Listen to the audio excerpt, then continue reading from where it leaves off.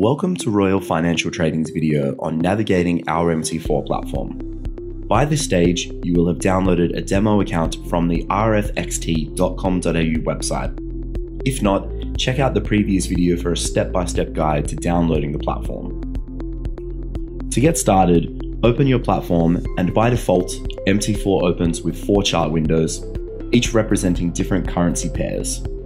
MT4 is divided into five main sections such as toolbars, market watch, the navigator, the charts, and the trade terminal.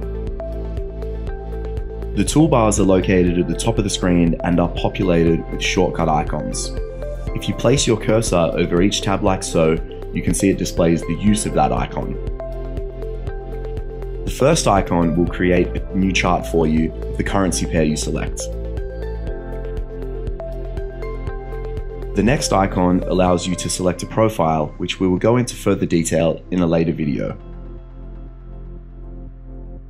This icon is for the Market Watch. This will show you all the products we offer along with the corresponding bid and ask prices.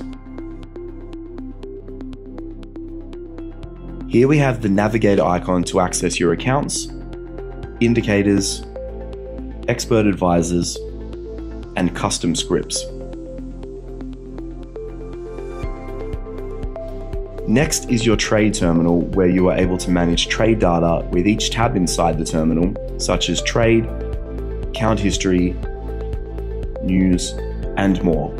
We will go into this in a later video. The new order icon is for placing a new trade, red is to sell, and blue is to buy.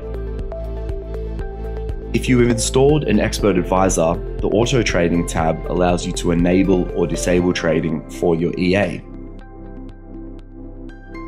Here we have options for a bar chart,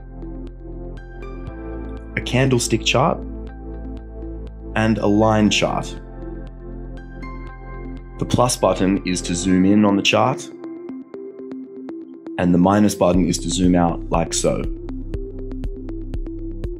This icon is if you wish to arrange your chart to be displayed as tiles. It is best to keep your auto scroll icon on as it will scroll the chart across every time a new price updates, but if you wish to scroll backwards on a chart, you will need this turned off.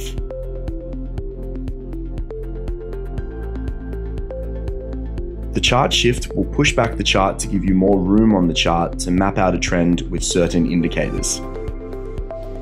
Lastly, we have your indicator list, your chart time periods, which are also displayed in line below as M1 for 1 minute, M5 for 5 minutes, etc. And then your saved chart templates. We will go through all of these features in detail in later tutorials. Now that we have a basic understanding of MT4's functions, please watch our additional tutorials to learn in more detail about each section of Royal's MT4 platform. Thanks for watching and happy trading.